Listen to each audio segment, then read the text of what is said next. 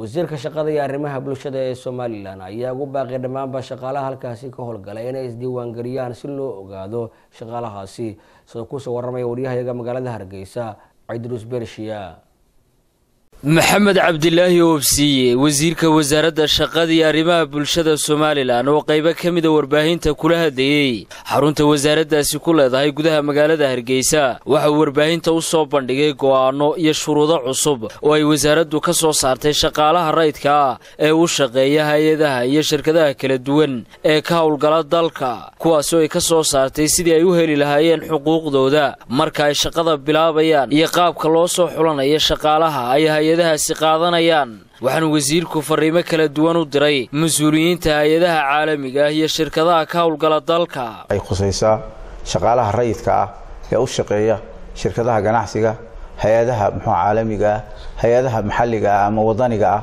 Intaba waxii ka soo hadhay shaqaalaha rayidka ah waxaa la yidhaha wixii ka soo hadhay shaqaalaha dowladda u shaqeeya. Shaqaalaha dowladda iyo shaqaalaha rayidka ayaa la kala yidhaha marka arrintaas oo aan qodobo ka soo qaadan doono ilaa saddex qodoba ayaan muxuu aha rabaa inaan bayaamiyo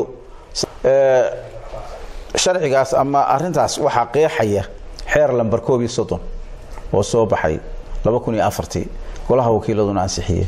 Waxaan soo qaadanayaa qodobka koob iyo soddonaad ee xeerka. Waxaan soo qaadanayaa qodobka labiyo soddonaad ee muxuu ahaa xeerka.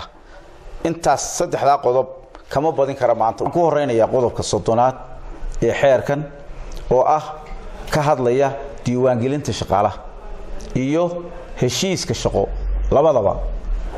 Diiwaangelinta waxa qofka shaqaalaha waa la diiwaangelinaya. Heshiiska shaqo ee qofkaa shaqaalihii uu hay'adda uu shaqeeyo uu la galayna waa la diiwaangelinaya. Su'aashu waxay tahay halkee laga diiwaangelinaya? Waxaa laga diiwaangelinayaa xafiiska wasaaradda shaqada iyo arrimaha bulshada ee qaabilsan arrinta. Qodobka soddonaad faqradiisa koowaad waxay sheegaysaa qof kasta oo shaqaale ah oo ka shaqeeya shirkadaha iyo hay'adaha aan dowladda ahayn. Waa shaqaalaha rayidka ee xeerkani saamaynta ku leeyahay waa in la diiwaangeliyaa.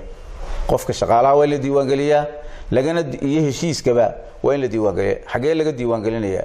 Lagana diiwaangeliyo xafiiska waaxda shaqada ee xidhiirka shaqaalaha rayidka ee wasaaradda shaqada iyo arrimaha bulshada. Ninka aan muxuu ahaa yani qof shaqaalaha oo u shaqeeya hay'adda soo diiwaangelin weyda ama muxuu ahaa dee coobi keeni weyda ama aanay wasaaradda shaqada iyo arrimaha bulshadu ka haynin coobi dee waxa weeye sharcigaas aad buu ugu tuntay wuu baalmarsan yahay yani kulley tallaabo sharciyana in laga qaado ayuu mudan yahay. Faqradda koobaad waxay tilmaamaysaa oo qeexaysaa jago kasta oo ka banaanaata hay'adaha iyo shirkadaha kor aynu ku soo sheegnay.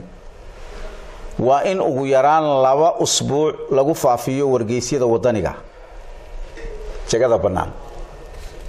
Shuruudaha iyo wixii faahfaahinaya la xidhiidha shaqada bannaan ee la baafinayo. Shuruudaheega kow faqradda labaad xulashada araajida. Imtixaan imtixaanka af ahaan iyo qoraal ahaanba imtixaanku wuxuu noqon karaa qoraal wuxuu noqon karaa interview iyo af.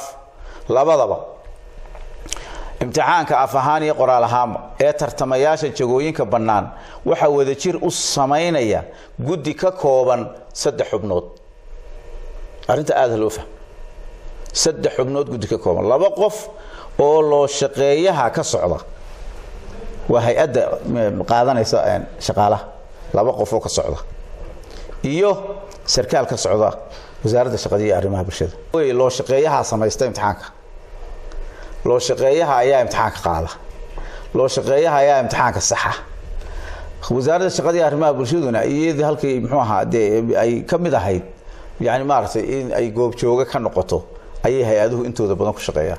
Ma dhici doonto hadda ka bacdi qofka shaqaalihiina meesha uu shaqo tegayo waa inuu heshiis la galaa xuquuqdiisa ilaaliya heshiiskaasi laba xuquuqood loo shaqeeyahana xuquuqdiisu ilaalinayaa dee shaqaalaha qofka shaqaalahana xuquuqdiisu ilaalinaya. Arrintaas waa inay dadka shaqaalaha hay'ada u shaqeeya waa ina aad iyo aada uga taxadaraan waa cidruus cabdilaahi ismaaciil beershiya telefishanka caalamiga ee somaali cable hargeysa